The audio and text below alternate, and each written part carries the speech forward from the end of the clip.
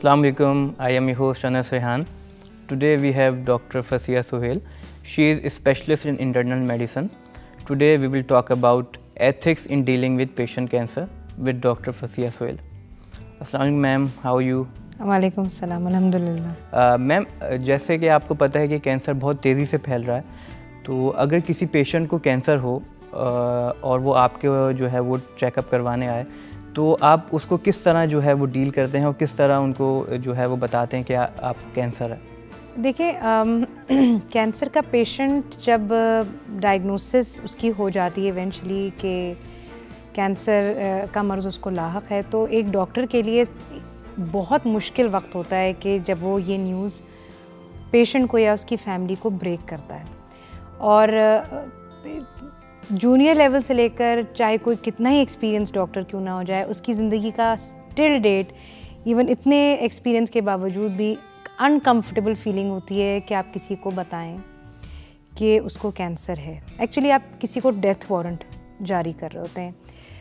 तो ये एक बहुत ही डिस्कम्फर्टिंग फीलिंग होती है। लेकिन डिस्पाइट ऑफ़ द फैक्ट ये चीज़ एक डॉक्टर के ऊपर एक बर्डन होती है कि उसको ट्रुथ टेलिंग लाजमी करनी है। ये कोड ऑफ़ एथिक्स ऑफ़ एक क्लिनिशियन है कि आपको अपने मरीज़ और उसके ख़ानदान वालों के साथ सच शेयर करना है।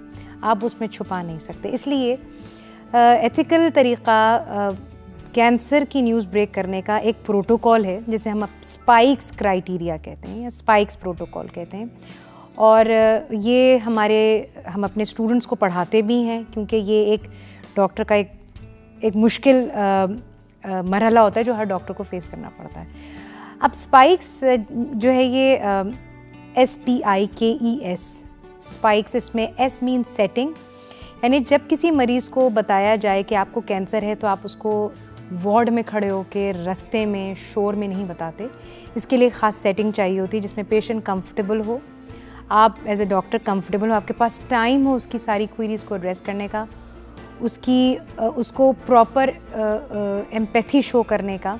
तो आपकी सेटिंग आइडियल होनी चाहिए।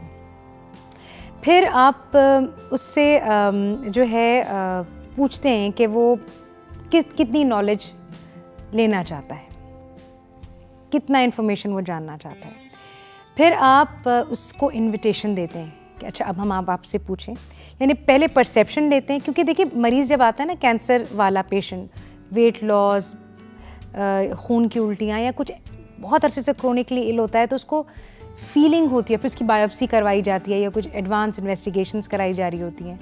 उसके बाद उसको आइडिया होता है कि मामला ग्रेव है, कुछ मसला है सही तो उसको परसेप्शन होती है। तो आप उसी पेशेंट या उसकी फैमिली से ही वो परसेप्शन एक्सट्रैक्ट करवाते हैं, ताकि वो कंफर्ट लेवल डेवलप हो। ये एक पूरा आर्ट है, जो हम स्टूडेंट एज ए स्टूडेंट पढ़ते भी हैं और फिर प्रैक्टिस भी करते हैं एज ए क्लिनिशियन फिर आप उसको इनवाइट करते हैं कि आप कितना जानना चाहते हैं। और फिर आप फाइनली आप उसको नॉलेज जिस, जिससे हम के स्पाइस का के प्रोटोकॉल में के आता है नॉलेज ब्रेक करते हैं, उसको नॉलेज देते हैं। और सारी नॉलेज जितनी वो इनविटेशन में माँगता है, उतनी दी जाती है। और ज़रूरी नहीं कि आप हर चीज़ उसी पहले एक ही गुफ्तगू में सब कुछ बता दें। फिर ई इमोशनल जो उसका इमोशनल रिस्पॉन्स होता है, उसको वेंटिलेट करने दिया जाता है। अगर वो रोना चाहता है तो उसको रोने दिया जाता है। क्योंकि देखिए एक्चुअली जब आपको पता चलता है अगर आप उसकी अपने आप को उसकी जगह पे रख के देखें तो एक बहुत बड़ी खबर होती है शायद ज़िंदगी की सबसे बुरी खबर वो सुन रहा होता है कि उसकी ज़िंदगी अब वैसी नहीं रहेगी जैसे पहले थी। तो उसको जो इमोशनल एक होता है उसको हम वेंटिलेट करने की अ, की मतलब टाइम देते हैं जिसमें वो रो भी सकता है गुस्सा भी करता है। कभी कभी पेशेंट डिनाई करता है ऐसा हो ही नहीं सकता आपको गलत फहमी हुई है। So you let that come from the patient उसके बाद जब वो ये दे चुका होता है तो उसके बाद आप उसको आगे समराइज करते हैं और वे फॉरवर्ड देते हैं। So this is how you break the bad news to a cancer patient और the family of the cancer patient ma'am आपने मेरे पहले सवाल को बड़ा ब्रीफली एक्सप्लेन किया। मेरा दूसरा सवाल ये है कि अगर किसी पेशेंट को कैंसर है अ, तो डॉक्टर का इसमें क्या एम होना चाहिए कि वो किस तरह पेशेंट को डील करें और उनकी फैमिली को किस तरह सेटिस्फाई करें? अम, सबसे पहले तो डॉक्टर मुख्तलिफ़ किस्म के कैंसर्स डील करते हैं। तो नॉलेज ऑफ़ द कैंसर जो पेशेंट जो बीमारी, जो उसको, जिस किस्म का कैंसर उसको लाक है, और जिस लेवल का है, यानी कि उसकी स्टेजिंग और ग्रेडिंग होती है जो आप मुख्तलिफ़ टेस्टों से अंदाज़ा लगाते हैं कि वो अब उसी जगह पर मौजूद है, उसका साइज़ छोटा है, क्या वो जिसम के मुख्तलिफ़ दूसरे ऑर्गन में फैल चुका है, और उस कैंसर के अंदर जो मर्ज़ की जो आउटकम है, जिसे हम कहते हैं प्रोग्नोसिस उस ख़ास किस्म का कैंसर का कैसा है, ये डॉक्टर के लिए क्लियर होना बहुत ज़रूरी है। जैसे मिसाल के तौर पे प्रोस्टेट कैंसर है अर्ली स्टेज में अगर आप अच्छे से डायग्नोस कर लेते हो क्योरेबल होता है। इसी तरह ब्रेस्ट कैंसर्स बिल्कुल अर्ली स्टेज में डायग्नोस हो जाते हैं तो वो क्योरेबल होते हैं। लेकिन कुछ कैंसर्स हैं जैसे कैंसर ऑफ़ गॉल ब्लैडर है। पैनक्रियाज है, ये रेपिडली स्प्रेड करते हैं, बहुत तेज़ी से फैलते हैं और इसकी क्योर रेट नहीं होता, ना होने के बराबर होता है। प्रोग्नोसिस जिसे हम कहते हैं, इसका जो रिज़ल्ट है या जिसमें ज़िंदा रहने की जो कैपेसिटी है एक मरीज़ की, वो बहुत कम होती है। और ये मेडिकल नॉलेज और एविडेंस बेस्ड मेडिसिन हमें बता देती है। तो इसका नॉलेज पहले तो डॉक्टर को होना बहुत ज़रूरी है। पहली बात, दूसरी चीज़ डॉक्टर को ये ज़रूर पता होना चाहिए कि मरीज़ को जो वो चीज़ बताने जा रहा है, उसके कॉन्सिक्वेंसेस मरीज़ की ना सिर्फ़ सेहत पर, जिस्मानी सेहत पर होंगे, बल्कि उसकी जहनी और रूहानी सेहत पर भी पड़ेंगे और उसके ख़ानदान पे भी पड़ेंगे। मिसाल के तौर पे बहुत सारे काम हैं जो एक इंसान प्लान करता है अपनी ज़िंदगी में।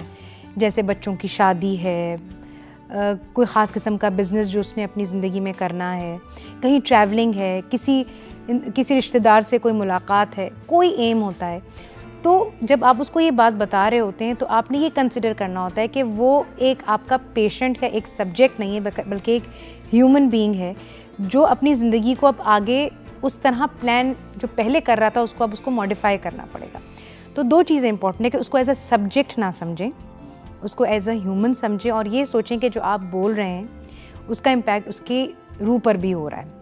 और वो नॉलेज जो आप उसको दे रहे हैं, वो बिल्कुल अप्रोप्रिएट हो। बीच में झूठ ना हो, कोई चीज़ आप एक्स्ट्रा ना बोलें और अपने आप को हमेशा अवेलेबल रखें मरीज़ के लिए, जो भी उसकी कंसर्न्स हैं, वो एड्रेस की जाएँ, ठीक? और ये बहुत ज़रूरी है कि उसको फॉल्स होप भी नहीं दें। हमारे डॉक्टर्स का एक कॉन्सेप्ट होता है कि किसी को बताते हैं कैंसर तो फिर उसके साथ ट्रुथ नहीं बताते कि इसका हाँ ये कॉन्सिक्वेंसेस हो सकते हैं। तो फिर बाद में पेशेंट खुद आपसे as a as a doctor आपके साथ फिर वो नाखुश होता है फैमिली भी नाखुश रहती है। तो ये एक्सपीरियंस बताता है आपको कि जितना आप सच बोलेंगे लेकिन उसका एक, एक तरीक़ा है। उस तरीके से बोलेंगे तो आप भी मरीज़ को आराम से मैनेज कर सकते हैं मरीज़ भी आपके साथ कॉन्फिडेंस डेवलप करता है और प्रॉब्लम्स को आसानी से मतलब झेल लेता है। मैम मेरा तीसरा सवाल ये है कि एक इंटरमिनली इल पेशेंट के पास क्या ऑप्शन होते हैं कि वो इस बीमारी को डील करे और अपने आप को इंटरनली कैसे सेटिस्फाई करे? Okay okay. जैसे मैंने आपके पिछले सवाल में कहा कि हर कैंसर का जो है प्रोग्नोसिस फ़र्क होता है तो ऑप्शंस भी फ़र्क होते हैं लेकिन ये ज़रूर कह मतलब आपके सवाल में ये मुश्किल सवाल है जो आप कह रहे हैं कि अगर एक मरीज़ जो कि टर्मिनली इल है, यानी कि हमने जो अपने तरीक़े से उसको जांचा है, जो ग्रेडिंग की है कैंसर की, जिस कस्म का कैंसर कैंसर उसको लाक है, इस स्टेज पे उसका बचना मुमकिन नहीं है ठीक है, अब ये एक स्टेज आ गई है। अब इस वक्त क्या किया जाए? देखिए एक जो कैफियत एक मरीज़ की होगी, उस वक्त उसमें खौफ, डर, परेशानी एंजाइटी और एक मिक्स सी फीलिंग होती है जो आपको एड्रेस करनी पड़ती है। और ना सिर्फ़ वो हम एज ए पेशेंट के साथ डील करते हैं, बल्कि हमारे जो सेटअप में साउथ ईस्ट एशिया में फैमिली एक बहुत बड़ा बॉन्ड होती है मरीज़ के साथ, जो ज़्यादा सफ़र करती है। तो हमें दोनों को एक्चुअली डील करना होता है। और मरीज़ को ये समझाना होता है कि देखिए, ये जो जो चीज़ आप बेयर कर रहे हैं, ये ये एक ऐसी तकलीफ़ है जो कि इन ख़त्म हो जाएगी। अच्छा अब ख़त्म होने का मतलब क्या है? कि आप इस ज़िंदगी, इस दुनिया में नहीं रहेंगे, ठीक है? तो आपने उसको सेंसिटाइज करना है अगले सफ़र के लिए। अच्छा मैं समझती हूँ वेस्ट के मुकाबले में ईस्टर्न मेडिसिन जो हम प्रैक्टिस कर रहे होते हैं इस तरफ़, यहाँ लोगों की, क्योंकि रिलीजन ईमान, चाहे किसी भी रिलीजन से बिलोंग करते हैं, उनका ईमान होता है और वो अल्लाह पर भी ईमान रखते हैं। तो मौत को एक तरह से एक ट्रांजिशन फ़ेज़ की तरह लिया जाता है। और ये आपने उनको समझाना होता है। बड़ा मुश्किल होता है ये समझाना, लेकिन समझाना पड़ता है। और इंटरेस्टिंगली मैं आपको बताऊँ, मरीज़ फौरी तौर पे नहीं, लेकिन जब उसको वक्त दिया जाता है, उसके साथ मुस्तकिल बात की जाती है तो वो इस चीज़ को अंडरस्टैंड कर लेता है। फैमिली कभी कभी डिफ़िकल्टी फेस कर, करती है। जैसे बच्चे हो गए, वो बहुत, क्योंकि वो अपने पेरेंट्स के मामले में बड़े पोजेसिव होते हैं, वो नहीं चाहते कि वो उसको लेट गो करें। तो ये आपने, एक तो वो बॉन्ड डेवलप करना होता है पेशेंट के साथ, और वो आपके साथ वेंटिलेट करे। फिर दूसरी बात ये कि आपका एज ए क्लिनिशियन एम ये नहीं होना चाहिए कि उसकी लाइफ प्रोलॉन्ग करें। कभी कभी लाइफ प्रोलॉन्ग करना अगर आपका एज ए क्लिनिशियन एम होगा तो आप उसकी मिजरी प्रोलॉन्ग कर रहे होंगे। So your aim should always be not to prolong the miserable life but to improve the quality of life that is left for him तो आप पेन मैनेजमेंट और जो डिफ़िकल्टीज़ उसके साथ है, मिसाल के तौर तो पर अगर ईसोफेगस या ना खाने की नाली का कैंसर है तो वो खाना नहीं निकल सकता। ये एक बहुत बड़ा प्रॉब्लम है। उसके गले में दर्द है तो आप पेन मैनेज करेंगे। आप उसको स्टैंड डालेंगे जिससे वो आराम से खाना ले सके। फिर अगर वो जिगर में चला गया कहीं और चला गया तो सिवेरिटी ऑफ़ पेन ज़्यादा बढ़ गई है। तो आप उसको मॉर्फिन है या अच्छी क्वालिटी की पेन मैनेजमेंट अब तो एक, एक अलग एंटिटी बन गई है जो आप उसको देंगे। फिर उसके उसकी जो ज़िंदगी के अंदर जो चीज़ें वो रह गई हैं, जिसमें वो प्लेजर ढूंढता है मेडिटेशन है, आप उसको इनक्रेज करेंगे और उसको कंफर्टेबल रखेंगे। ये एम बहुत ये हमारे यहाँ क्लिनिशियंस इस चीज़ को भूल जाते हैं। सिर्फ़ इस चीज़ पे फोकस किया जाता है कि इसकी ज़िंदगी बढ़ाओ, चाहे वो ज़िंदगी तकलीफ़ दे क्यों ना हो। तो ये चीज़ जो है, एक डॉक्टर के दिमाग में बिल्कुल क्लियर होनी चाहिए कि वो क्या स्टेप्स लेगा।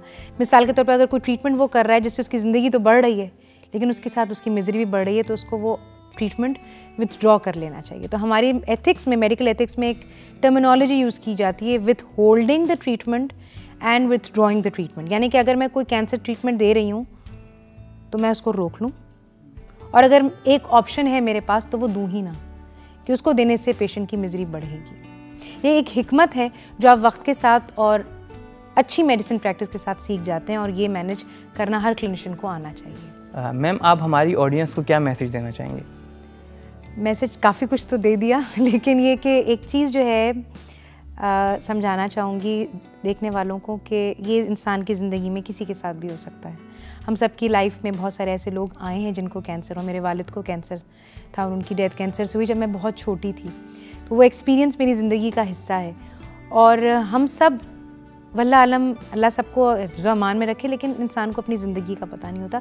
एक चीज़ आपको समझनी चाहिए एज ए ह्यूमन कि अपनी स्पिरिचुअल साइड स्ट्रॉन्ग रखें और मौत को ज़िंदगी का अख्ताम ना समझें, एक कौमा समझें। ये जो एक ट्रांस फ़ेज़ है जिससे आप इस दुनिया से दूसरी दुनिया में जा रहे हैं और जितना आप उसको कंफर्टेबली एक्सेप्ट करेंगे डेथ के जो कॉन्सेप्ट को, उतना आसानी से आप इस मरहले को पूरा करेंगे क्योंकि ये सब पे आनी है। तो प्लीज़ ये इसको मशीत एजदी समझें, अल्लाह की मर्ज़ी समझें और एक आजमाइश समझें जो कि गुज़र के इन उसके बाद जो दूसरा रास्ता है, जो उसके आगे, वो भी ज़िंदगी ही है। तो ये ख़त्म नहीं हो जाता यहाँ पे। तो जो एक होपलेसनेस होती है, वो नहीं फील करनी चाहिए और डॉक्टर को भी नहीं फील करनी चाहिए, जिसकी वजह से पेशेंट भी होपलेस हो जाता है। Ma'am thank you for precious time बहुत शुक्रिया आपने मुझे इनवाइट किया। Thank you so much